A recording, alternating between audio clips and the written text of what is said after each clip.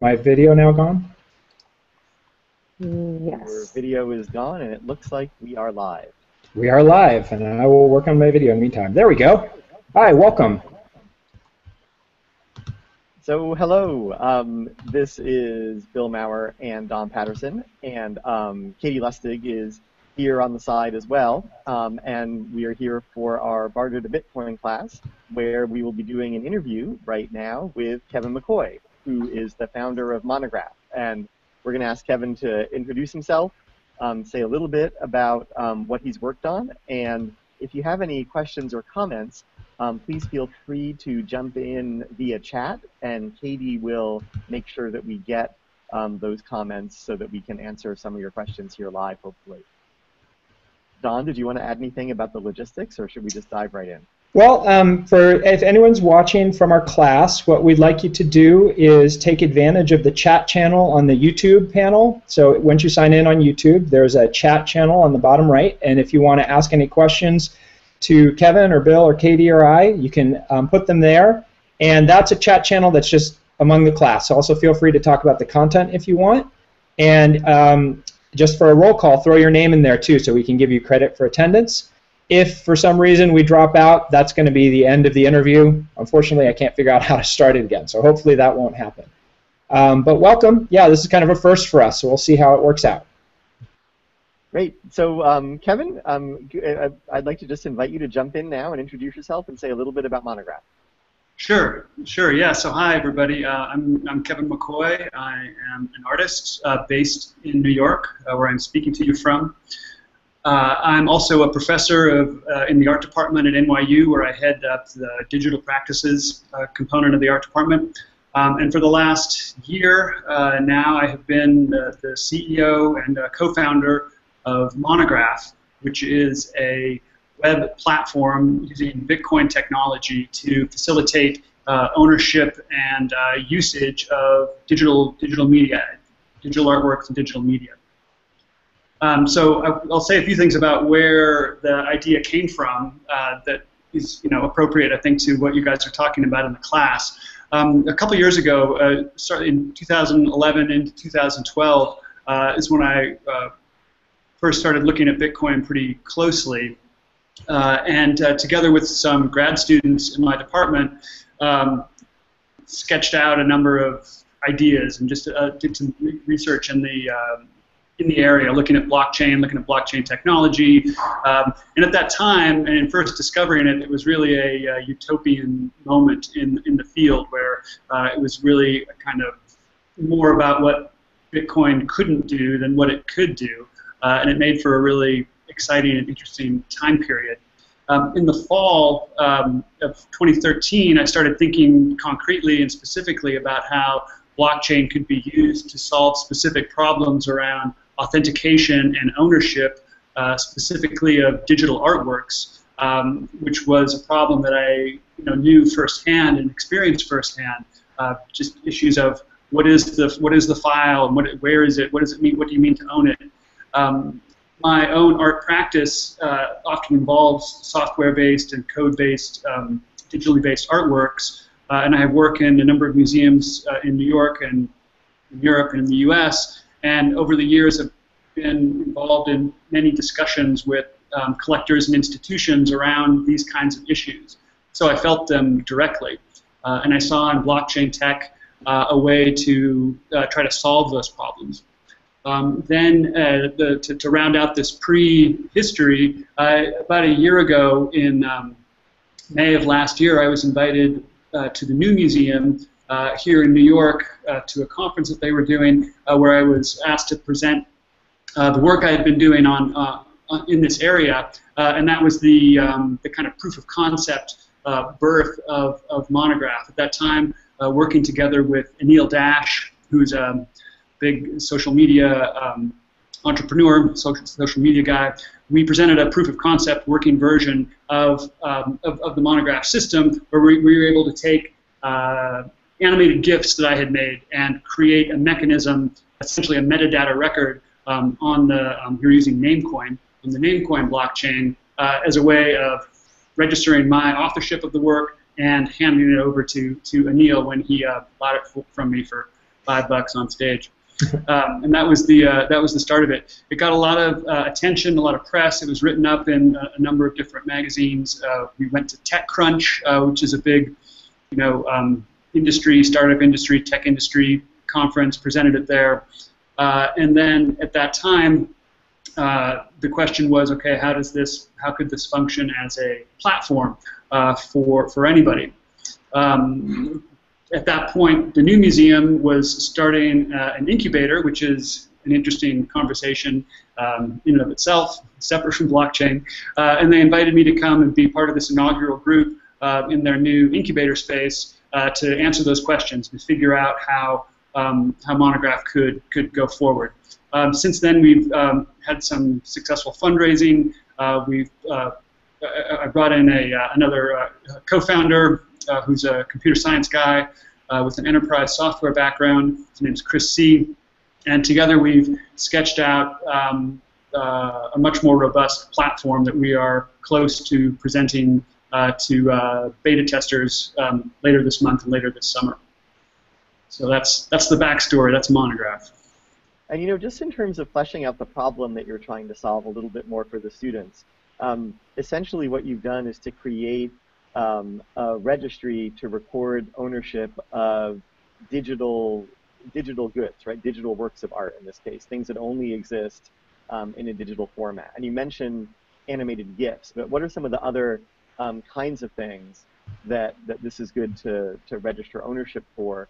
And why is registering ownership such a particular problem for digital artwork?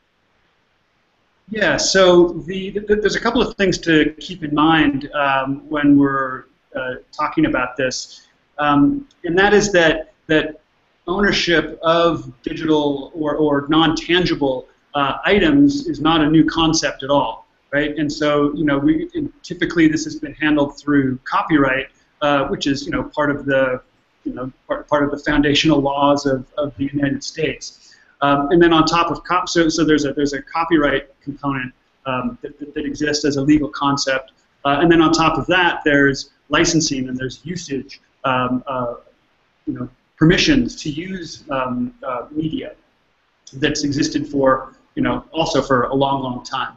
Uh, so in a certain sense, we're not doing anything novel right? We're taking existing concepts, legal concepts, uh, existing organizational concepts, and trying to update them, streamline them, bring them to uh, a different sort of um, different sort of place. And, and, blockchain technology plays an important role in that. Um, and so, to get back to the to, to your question, Bill, the in, in this case uh, about ownership, uh, I come from the art world, and so the, the, the fine art world. And so their ownership is a really important issue because there's the idea of attribution on the creation side, the creator side, who made this? Uh, and, and, and, the art world takes that question very seriously. Uh, and then conversely, who owns this uh, is also something that the art world is very much interested in because typically the work of artists is considered to have some value. So those three properties, those three, almost like anthropologically, uh, these three um, um, conditions of the art world are what are as important to us. Identification of the author, identification of the owner, and presumption of value of the media itself, kind of call it intrinsic value. Um, and that goes in the face of social media practice by and large, where certainly from a social media platform level, the media itself is not does not does not have any value, right? You're, you're, you're sharing it, right, or kind of giving it away. Uh, of course, it turns out that it does have value, but that value is being captured by the social media platforms um, uh, through, through advertising. Um, and so then, on the other hand, outside of social media, we have very cumbersome mechanisms for um, rights, for, for legitimate rights usage. How do you know if you wanted to use a piece of media, you wanted to pay the um, creator and use it in a kind of legitimate way, very unclear how you would go about doing that. Right? So the, the um, so Monegraph is really about trying to bring clarity to that situation, ease of use to that situation, and facilitate uh, a, a, mechanism by which anybody can um, describe the media that they've created, uh, assign value to it, assign rights to it, and the mechanism for transferring those rights to other people uh, with, with clarity about what has been transferred and where it ultimately went. Um, uh, That's something that I've experienced in trying to put together materials for a class where I would like to use some kind of a image and it's not kind of a fair use situation. It's you know I just want to use it in kind of an advertising sort of way. And I found these great images, but I can't find at all where they're from. They're they're on a billion different sharing sites. They're um, in social media, but uh, you know even if I could find the author, well I guess I can't find the author in this case. Is there is there a mechanism in what you're describing to sort of work backwards if you don't like if you find it, it can you track down through a watermark or something where the initial ownership lies in, in the blockchain? Yeah, yeah, definitely. And so, I mean, you know, we're, we're at an early stage, and, and, and Monegraph is not some sort of um, you know anti-piracy magic fairy dust. Right. Um, but it does set up a uh, set of practices that, if used and, and engaged with and, and, and taken up, uh, can can clarify that situation a lot. So, I mean, and, and, so on one hand, we're really on the um, heels of uh, Creative Commons, uh, which was also around licensing. Right, Creative Commons is a license that sits on that sits kind of on top of copyright um, to to um, assign usage use rights to, to, things. But you know, famously, it, it's all about sharing and it's non non commercial, and so you have you have attribution uh, and non commercial use. So Monegraph, it's like, well, what can we do in that commercial sense? Um, obviously, we have media marketplaces um, you know, all the way from Getty to iTunes, Spotify, and to me that just shows the, um, the power of what can happen when that licensing component has been solved, licensing and payment has been solved. The problem with that is those are those platforms are, are, are great, but they're really tailored for the largest players, uh, and they're very kind of centralized and controlled uh, mechanisms. So, um, in a bottom-up grassroots sense, what tools are available to allow people to express their commercial intentions uh, around their around their media. Um, you know, we, we we're 10, 15 years into uh, social media and, and open sharing, uh, and that's that's wonderful. But people also now see that there's a need for some other kind of possibilities, some other alternatives. So with Monegraph, um, you know, in, in, a best practices way, uh, uh, the, the, creators are incentivized to have Monegraph be their first stepping off point for uh, their media uh, when it hits the internet. Um, and so you can think of it as a kind of uh, opt-in ecosystem uh, that as it's picking up, as it's taken up and picked up, becomes becomes stronger. Um, but the licensing component is really is really tricky. it turns out that it's quite complex. Um, but and this is where blockchain uh, technology I think is appropriate uh, and, and, and interesting. Um, so uh, maybe I could maybe I'll speak kind of generally about um, about blockchain uh, yeah. at, at, this point. Yeah, that would be great because I was I was actually going to invite you to say a few words about you know why would you do this using the blockchain instead of creating yeah. some other kind of platform? What were what were the characteristics of the blockchain that drew you to it, and what yeah. are the virtues that it holds to solve this particular problem? Yeah, yeah, exactly. So the, the important thing to remember about blockchain is it is really just a database. Uh, it's a database that has very specific rules about how information is put into the database, uh, and it has very specific rules about how data would leave the database or not leave the database, as, as the case may be. Uh, it also has um, uh, social components uh, of, of distribution or replication in the sense that by design it is openly replicable in the sense that I can download, you know, if I download the Bitcoin client, for example, download the blockchain, I have another copy of what everybody else has. Uh, so it is, in that sense, it's decentralized. Anybody can decide to take the data and, and, um, and, and, and use it, and copy it, and have it, and possess it themselves. So that decentralization component is, um, is unique uh, in, uh, in, in the history of database design. Because typically databases are monolithic objects that live somewhere. Maybe it's sharded or fractured or you know kind of chopped up and divided in different ways. Uh, but they're still very uh, vertically oriented with, uh, with, with, uh, administrator that's in charge of everything. Um, and, and, and, the blockchain, as, as, as invented by Bitcoin, has very different kinds of properties. Um, so you need and, and, so there's a there's a kind of information theory or computer science component to blockchain, uh, you know, where it does solve uh, an interesting information theory uh, problem that goes under the name of the Byzantine generals problem. Basically, how do you trust information in a, in a non-trustworthy environment? How do you achieve consensus uh, or agreement uh, when you can't trust the nature of the messages being passed around? Um, is an interesting philosophical computer science technical problem, and and um, what what uh, uh, Nakamoto showed in the original Bitcoin white paper was a possible solution to that um, through the Bitcoin protocol, and that's cool. That's great. That's a very you know significant uh, achievement. But beyond that, uh, separate from that, is blockchain as a social agreement.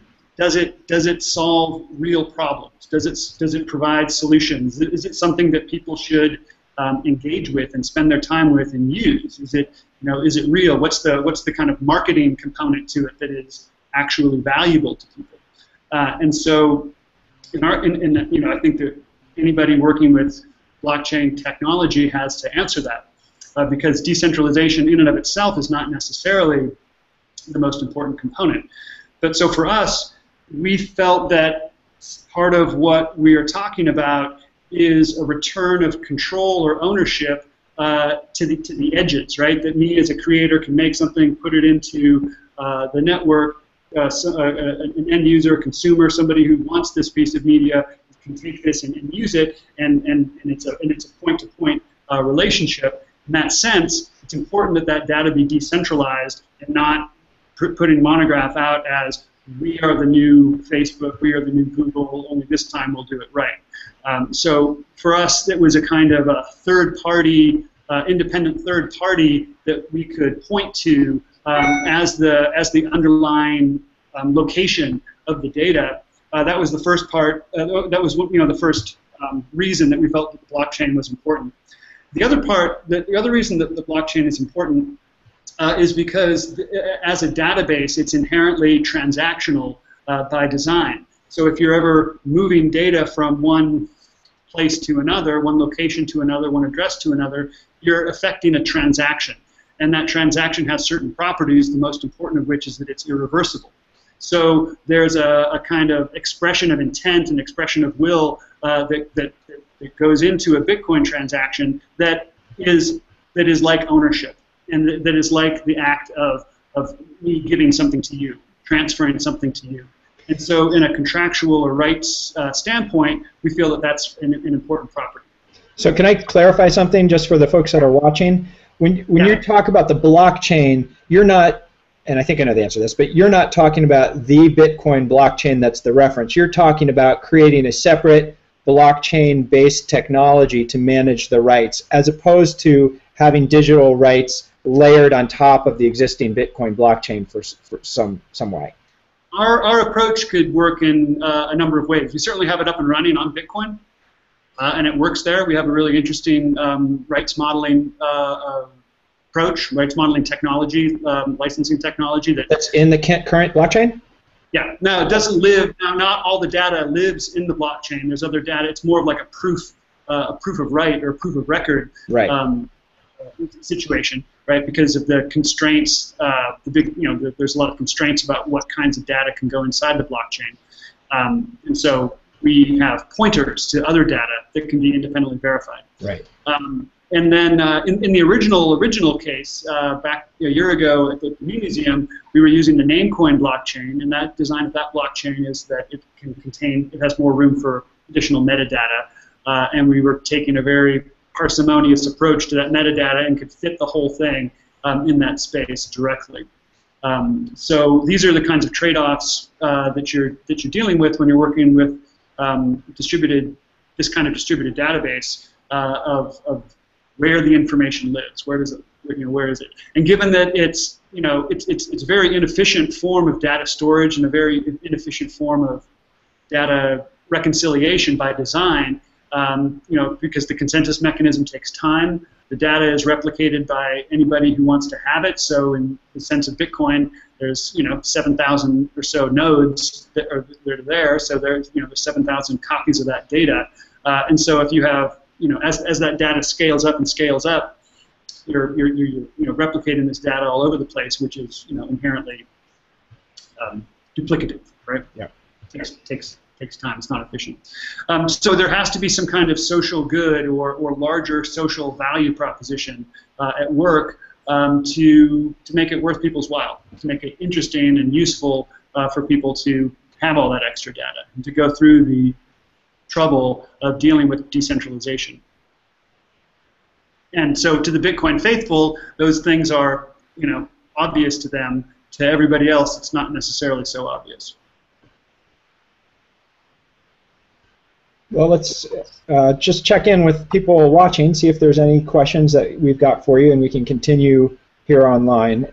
Um, if they come up, Katie will bring them in for us. Yeah, so far the, the chat has been kind of quiet, but I actually did have a question. Um, so how do you, is there a way to verify that, you know, I am who I say I am and that I actually am not just submitting something to Monegraph that says, I take like, for example, I'm not taking, couldn't take your art and say, oh, it's my own, and then it's in Monegraph and everyone thinks that I own it. Is there a way to verify that I actually own the art that I own?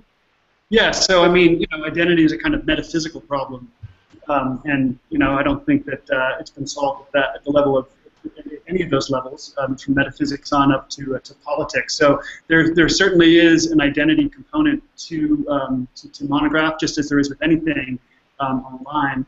Uh, and you know, we live in an age of identity questions about identity. So in the case of Monegraph, again, it's not magic uh, technology that's going to you know, solve that problem completely. But it's um, you know, and we have we, have, we you know we, we've come up with a strategy for increasing the likelihood that you are who you say that you are, and we also do that by raising the stakes of you as a fraudulent actor. Uh, because we're a transactional platform, you're registering information with us that you know is, is financial information, or you know if, if, we're facilitating payments on your behalf, for example, then you've hooked up a bank account to this um, and, you know other kinds of things, uh, and, and and are engaging in transactions that are fraudulent. So it's not just copyright infringement, but it would be more like wire fraud. So there's the force of law that that, that, that, that backs it up. Uh, with the goal, you know, with our goal being that we can have, um, you know, our goal is to have contracts that are viable uh, to to to different counterparties um, around the usage of, of media. I have no doubt that you know it doesn't stop screen capture. It doesn't stop you know just not buying licenses. It doesn't stop it doesn't stop piracy. It's about creating and facilitating um, an ecosystem in which people are incentivized just to buy it because it's easier. Uh, and I think that we've seen that happen over and over again with um, online marketplaces from iTunes on. You know, there's been a, um, a lot of interest in um, alternative uses of blockchain technology besides the money or currency or payment space. And um, Monegraph clearly is sort of part of this, although it also connects up to the, the financial transaction space as well. I wonder if you might just reflect a little bit on um, where you think these alternative uses of the blockchain might be going. Like think, think out the next year, the next five years, um, where you think that's all headed? Yeah, definitely. Um, you know, from a from an information design and computer science perspective, there's no shortage of, of, of use cases that uh, the blockchain faithful trot out. Um, you know, for you know, verifiable accounting to voting. Um, the list goes on. Finan- you know, stocks, financial agreements, uh, on and on and on. Um, and I think that in practice, um, it's a lot harder than that. And you can design uh, a system that has that you feel has the attributes of this other system that you're trying to replace, like say voting or say um, notary, right? Get something notarized. But the question is, is it is it believable? Is it viable? Do people accept it as as legitimate? And so you can see, you can look at the emergence of other protocols earlier on in the internet, like say SMTP with email.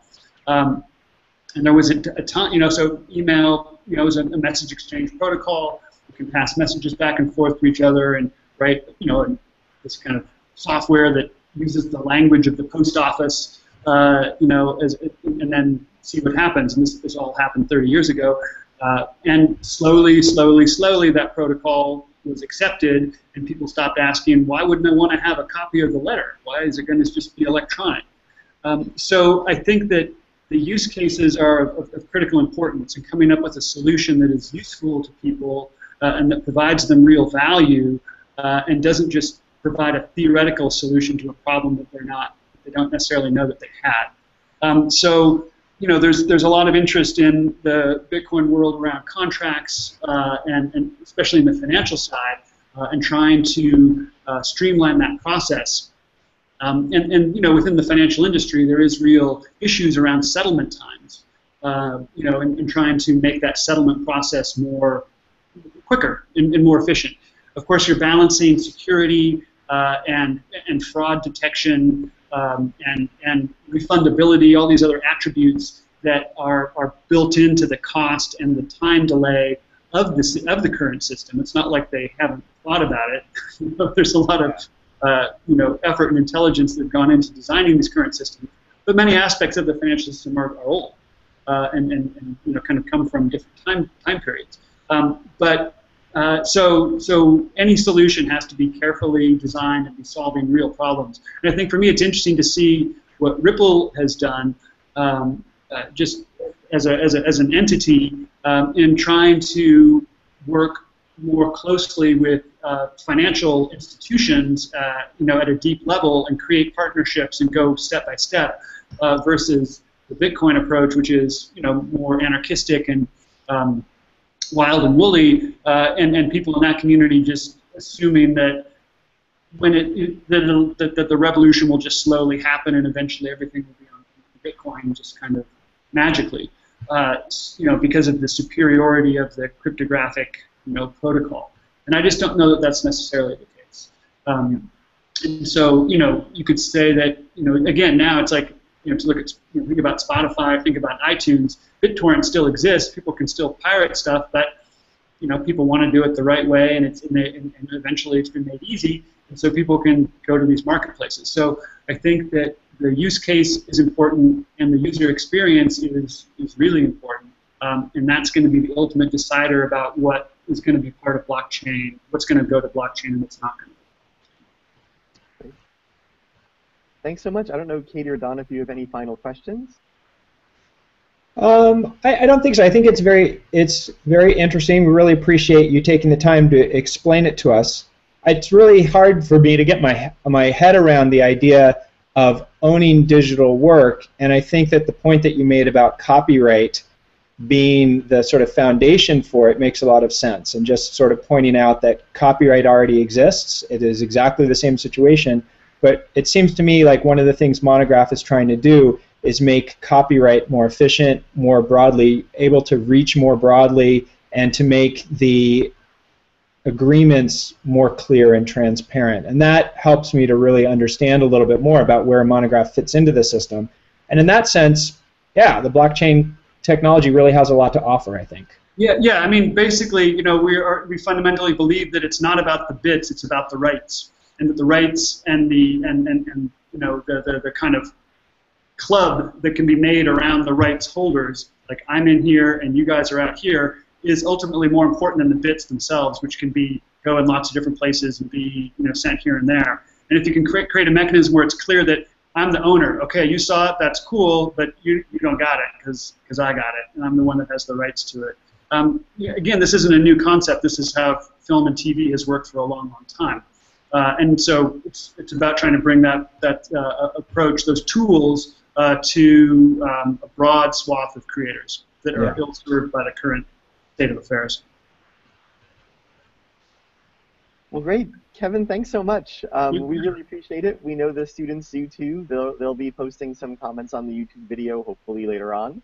And um, we will be in touch with any other questions that pop up. But um, for now, thanks so much for, for sharing Monegraph with us. Yeah, definitely. And uh, you know, if you've got stuff that you think you want to, uh, you know, it might be useful or valuable to people, um, come to Monegraph. Uh, we're not accepting. Uh, uh, we're, we're in the process of, of, of taking in emails, and we'll be uh, um, sending out invites to the beta uh, over this next month. So um, come to monegraph.com and uh, sign up for that, and um, we hope to get you going soon. Great. All right. Thanks, guys. right. Thanks so much. Yep. Thanks.